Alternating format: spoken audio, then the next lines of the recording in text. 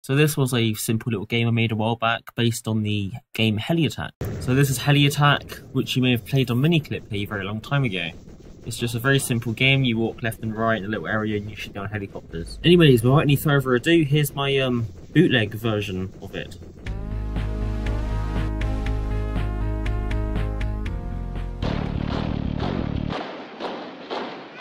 So the idea behind this original video was to show off a particle system, I guess.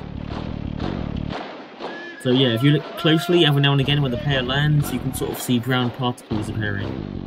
But it's pretty hard to see it because the video is not great quality.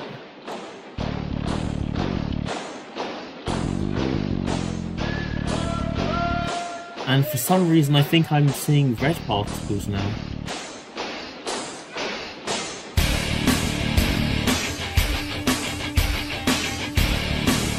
So that was that, but I also have another video to show you.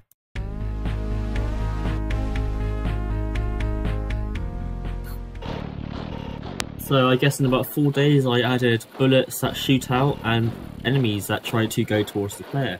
When the enemy is hit by the bullet, they seem to burst into blood, which then lands on the ground, which looks pretty cool, I guess.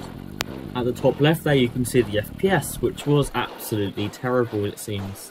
Of course, since then I've become a lot better.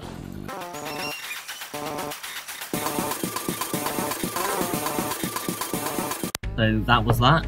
Anyway, thank you for watching and goodbye.